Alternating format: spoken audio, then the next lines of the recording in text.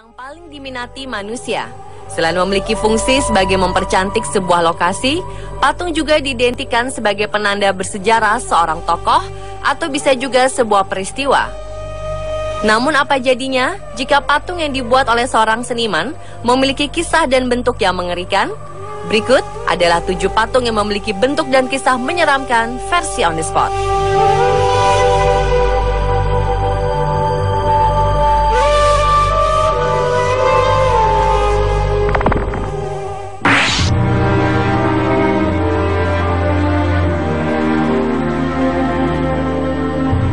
Patung kuda disimbolkan sebagai bentuk sebuah perlawanan dan kekuatan. Di kota Denver, tepatnya di halaman Bandara Denver, Colorado, Amerika Serikat, sebuah patung kuda berdiri kokoh. Orang-orang menamakan patung ini dengan sebutan Lucifer. Sekilas memang tidak ada yang nampak aneh dengan patung kuda ini, yang terlihat seperti patung kuda pada umumnya. Namun tunggu saat Anda melihatnya di malam hari, patung kuda gagah ini seketika akan membuat Anda merinding. Di malam hari, patung kuda ini nampak mengkilap dan berwarna cahaya kebiruan di bagian tubuhnya. Tak hanya itu, patung kuda ini semakin nampak seperti hidup dengan bola matanya berwarna merah seperti iblis.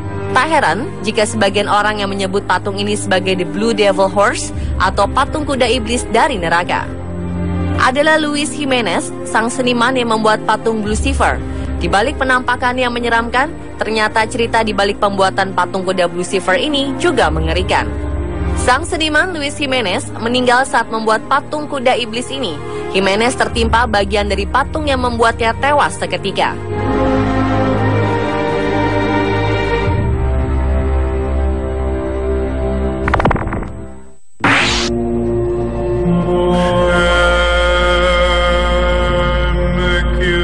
Pernahkah Anda datang ke sebuah tempat yang membuat Anda merinding?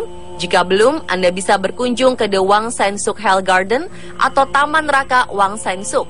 Ini adalah taman yang didirikan oleh para pemuka agama Buddha yang bertujuan untuk menunjukkan wujud seperti apa bentuk neraka. Taman yang terletak di Konburi, Thailand ini dipenuhi berbagai patung berbentuk manusia yang sedang disiksa di dalam neraka. Walaupun bentuk dan namanya seram, ternyata banyak wisatawan penasaran dan ingin berkunjung ke taman ini Ketika masuk ke dalam taman, Anda akan disuguhkan oleh diorama-diorama manusia yang sedang disiksa, seperti manusia yang sedang direbus di dalam sebuah kuali, lidah manusia yang ditarik keluar dengan menggunakan tang, manusia yang sedang digergaji tubuhnya, dan masih banyak lagi. Adegan diorama ini mencerminkan hukuman bagi manusia yang berbuat dosa semasa hidup di dunia. Taman Wang Sensuk ini merupakan salah satu wisata rohani yang bertujuan mengingatkan manusia agar ketika hidup di bumi selalu melakukan hal positif yang dianjurkan oleh setiap agama.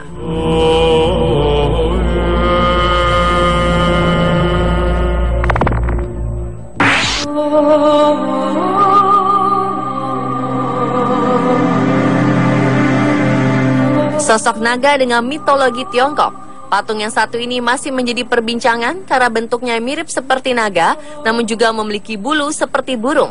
Patung yang terletak di jantung kota San Jose, California, Amerika Serikat, banyak disebut sebagai Quetzalcoatl. Patung ini dibuat untuk menghargai bangsa Hispanik yang merupakan penduduk asli San Jose. Ternyata nama Quetzalcoatl ini merupakan salah satu mitologi dari bangsa Aztec. Namanya merupakan gabungan dari kata Quetzal yang berarti burung Mesoamerika berwarna cerah dan Quetzal yang berarti ular. Sang seniman membuat patung seharga 500 ribu dolar Amerika atau hampir 7 miliar rupiah ini sebagai sebuah simbol sekaligus untuk memperindah kota. Namun tanggapan orang-orang yang melihat justru berbeda. Banyak yang menilai bahwa patungnya justru membuat setiap orang yang melihatnya merasa seram. Bagaimana menurut Anda?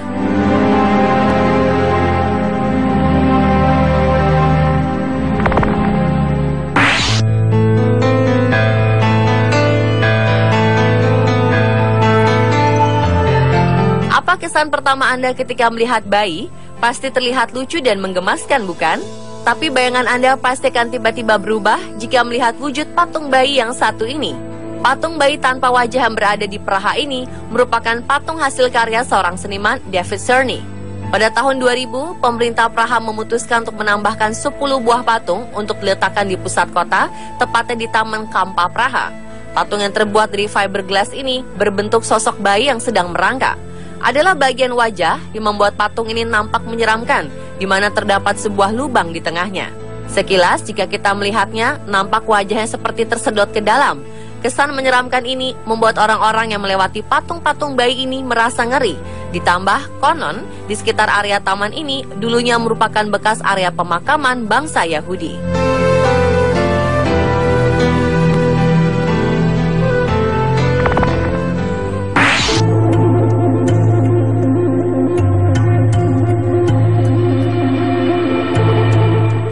Dengan bentuk menyeramkan selanjutnya ada di Filipina, tepatnya berada di kota Legazpi.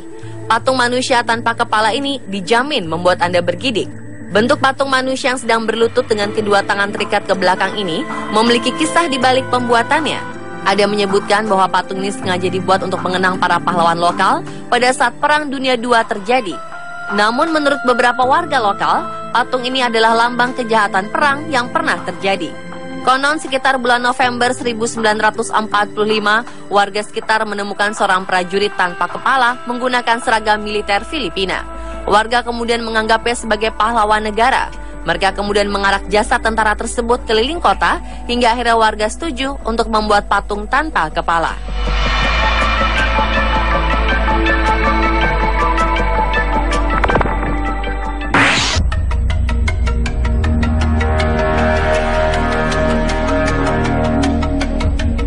Patung menyeramkan selanjutnya dinamakan patung pemakan bayi atau warga Swiss menyebutnya Kinley Fraser Brun. Menurut sejarah, patung air mancur tertua yang terletak di kota Bern, Swiss ini sudah berdiri sejak lebih dari 450 tahun lalu, tepatnya tahun 1546. Sesosok pria nampak sedang memasukkan setengah tubuh bayi ke dalam mulutnya.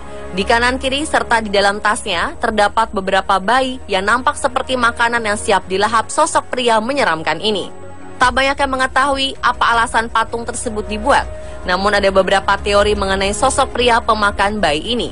Ada yang menyebutkan bahwa sosok pria di patung ini adalah seorang kakak tertua dari Duke Berthoud yang tak lain adalah pendiri kota Bern. Dikisahkan sang kakak ini cemburu dengan bayang-bayang adiknya yang membuatnya menjadi gila, sehingga sang kakak tega memakan anak-anak yang ada di kotanya.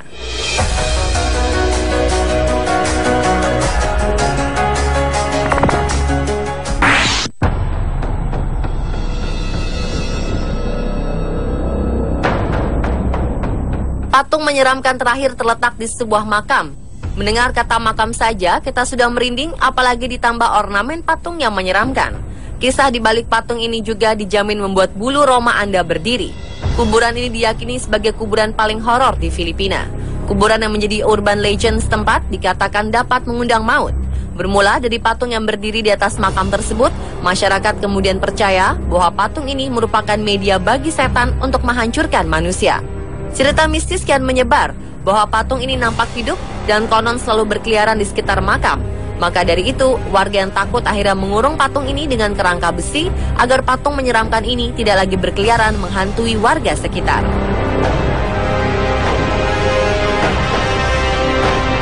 Pemirsa itulah tujuh patung dengan bentuk dan kisah menyeramkan versi On The Spot.